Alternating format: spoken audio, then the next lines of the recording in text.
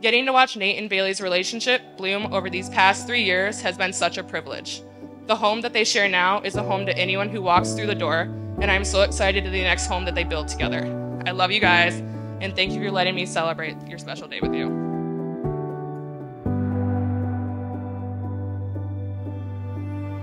This is a lot. We could have a soccer team and verse each other. So nervous. Not for me, for him. You sure you want this? You sure you want this? Okay. I'll I'll keep it PG for you. So, I've known that guy over there for a well, very long time, since Little League actually.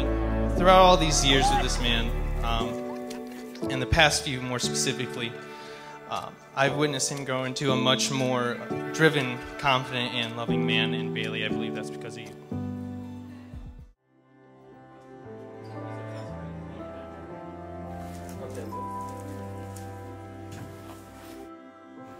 I met Nate our freshman year of college in 2013.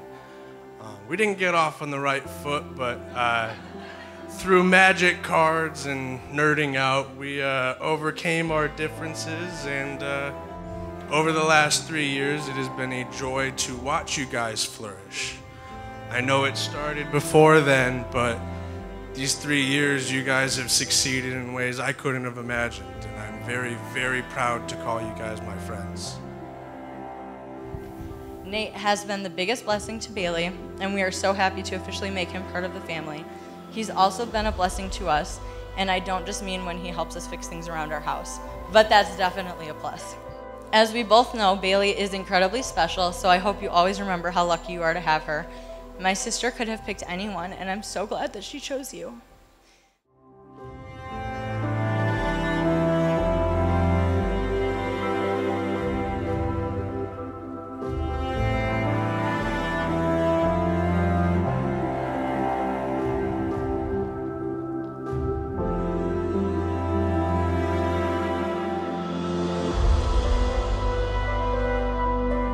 On behalf of Bailey, Nate, and their parents, I would like to welcome you all and thank you for traveling here today.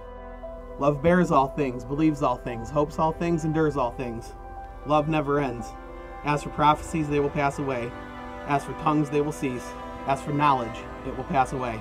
For we know in part, and we prophesy in part. But when the perfect comes, the partial will pass away. When I was a child, I spoke like a child, I thought like a child, I reasoned like a child. When I became a man, I gave up childish ways. For now we see in a mirror dimly, but then face to face. Now I know in part, then I shall know fully, even as I have been fully known. So faith, hope, love, abide these three, but the greatest of these is love.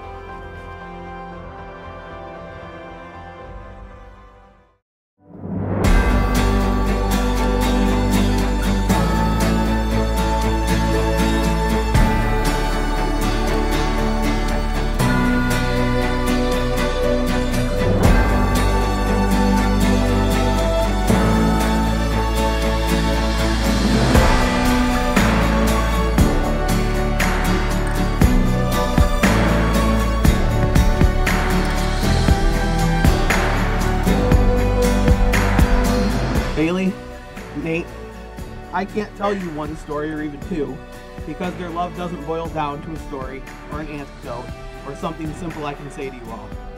They have a beautiful and complex love and respect for each other, and if you are lucky enough to spend time with them, you cannot miss their special bond.